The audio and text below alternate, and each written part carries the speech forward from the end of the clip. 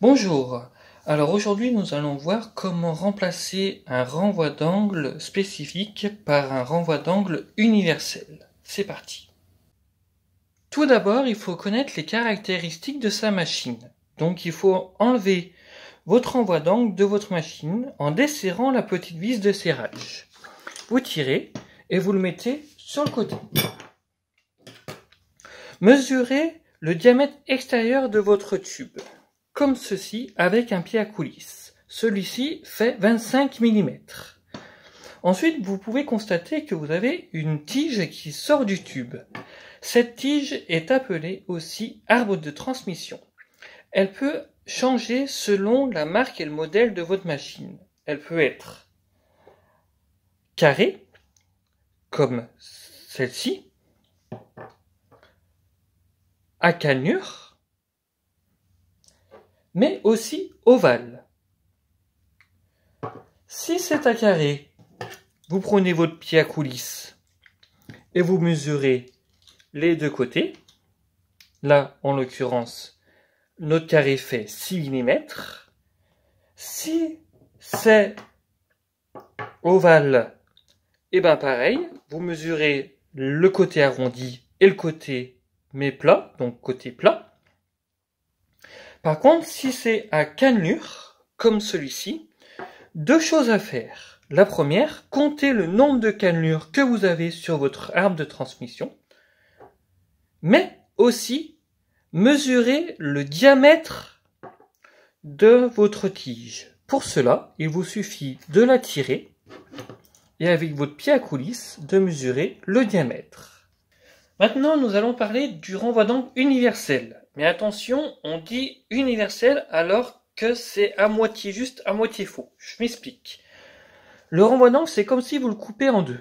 Vous avez la partie débroussailleuse en dessous et la partie tête de débroussailleuse au-dessus. Ici, vous avez le mode de fixation. Le mode de fixation, il n'est pas universel, il est spécifique. C'est-à-dire que là, par exemple, vous avez un pas de vis de 10 x 1,25.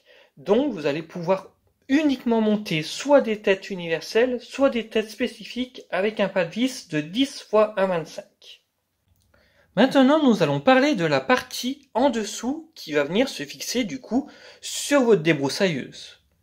Cette partie est universelle grâce à son mode de fixation. Ici, comme vous pouvez le constater, nous pouvons mettre plusieurs adaptateurs.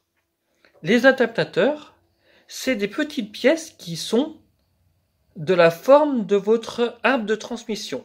Donc vous avez du coup le carré, les canures,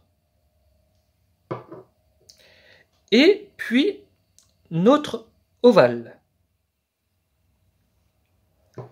Sur chaque adaptateur, vous avez un pas de vis qui est sur tous les adaptateurs le même et qui va venir se visser à l'intérieur de votre renvoi d'angle avec tout simplement une clé de 13 à pipe.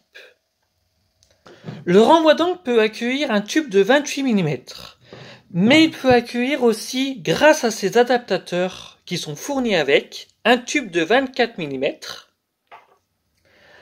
un tube de 25 mm, 25,4 mm et 26 mm.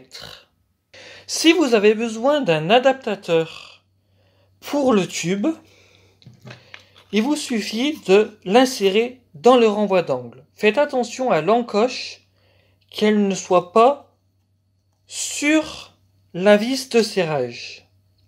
Moi, vous voyez, ma vis, elle est bien libre pour pouvoir, quand je vais l'insérer sur ma machine, le visser avec un tournevis. N'oubliez pas votre adaptateur d'arbre de transmission qui viendra du coup se visser au fond de votre envoi d'angle. Et voilà,